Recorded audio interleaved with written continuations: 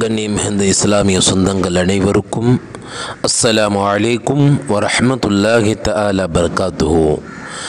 கண்ணியம் வாய்ந்தவர்களே சமீப காலங்களாகவே நிறைய கொலைவெறி தாக்குதல்களை நாம் கண்கூடாக பார்த்து கொண்டிருக்கிறோம். எல்லா இடங்களிலும் கட்டவிழ்த்து விடப்படுகிற கொடூர தாக்குதல்கள். முஸ்லீம்கள் என்றால் சிறுபான்மை இனம் கேட்டா கேட்க யாரும் வரமாட்டார்கள் என்ற ஒரு பெயரில் மாத்திரமல்ல அதே சிந்தனையில் ஒரு கூட்டத்தை இன்றைக்கு அநியாயக்காரர்கள் உருவாக்கி வைத்திருக்கின்றார்கள். ஃபிரௌனுடைய காலத்தில் ஹசரத் மூசா அலிகிசலாம் அவர்களையும் சிறுபான்மை இனமாகவே ஃபிரௌன் காட்டி வைத்திருந்தான். மூசா அலிகிசலாம் அவர்கள் பெரிய பலம் பொருந்தியவர்கள். மூசா அலிகிசலாம் அவர்கள் பெரிய கோபக்காரர்கள். அல்லாஹ்விடத்தில் அதிகமாக பேசிய நபி. ஹசரத் மூசா அலிகிசலாம் அல்லாஹ்விடத்திலிருந்து அதிகமான அற்புதங்களை உலகிற்கு கொண்டு வந்த நபி. இன்னும் சொல்ல போனால் தன்னை பெரும்பான்மை என்று காட்டியிருந்த ஃபிர்அவுன் அவனுடைய அவனும் அவனுடைய படைகளும் தொடை நடுங்கிகளாக. ஜரத் மூசா அலிகசலம் அவர்களை பார்த்து அஞ்சி வாழ்ந்தார்கள். அந்த அச்சத்தை வெளிப்படுத்தாமல் தன்னை தற்காத்து கொள்வதற்கு தன்னை பெரும்பான்மை இனம் என்பதாகவும் ஹசரத் மூசா அலிகசலாம் அவர்களை சிறுபான்மை இனம் என்பதாகவும் அன்றைக்கு அவன் காட்டியிருந்தான்.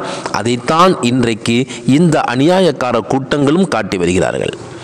ஒரு நேரத்தில் ஹசரத் மூசா அலிகசலாம் அவர்கள் இரு நபர்களுக்கு மத்தியிலான சண்டைக்கு தீர்வை கொடுப்பதற்கு ஒருவனை ஒரு குத்துவிட அவன் இறந்து விடுகிறான்.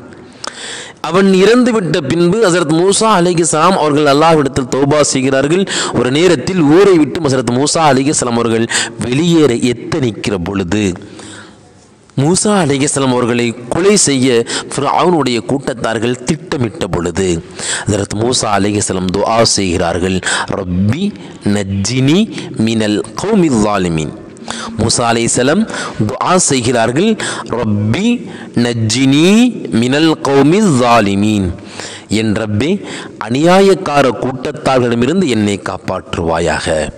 கண்ணியவான்களே மூசா அலிகஸ்லாம் அவர்கள் அன்னைக்கு அந்த ஊரை விட்டு வெளியேறி வெளியேறி செல்கின்ற பொழுது தனி மனிதராக ஒற்றை மனிதராக வழித்துணைக்கு யாரும் இல்லை அடுத்த வேலை உணவும் இல்லை ஒரு அகதியாக ஊரை விட்டு வெளியேறினார்கள். இன்று இன்றைக்கு நம்மையும் அகதியாக்க முயற்சி செய்யக்கூடிய அந்த அநியாயக்கார மக்களிடத்திலிருந்து அல்லாஹ்விடத்தில் நாம் பாதுகாவலை கேட்க வேண்டும். முசா அலிஹிஸ்லாம் அவர்கள் கேட்ட அதே துஆக்களை இன்றைக்கு நாமும் ஒவ்வொரு வேலை தொழுகைக்கு பின்பும் கேட்போம் அதிகம் அதிகமாக கேட்போம். ரொப்பி நஜ்ஜினி மினல் கோமி தாலிமீன் என்ற துஆவை அதிகமாக கேட்போம். வல்ல ரொப்புல் ஆலமீன் இதே மண்ணில் சுதந்திர மக்களாக வாழ்வதற்கு எல்லாம் அல்ல அல்லாஹ் நம் அனைவருக்கும் தோஃபிக் செய்வானாக آمين. وآخر دعوانا الحمد لله رب العالمين. السلام عليكم ورحمة الله تعالى وبركاته.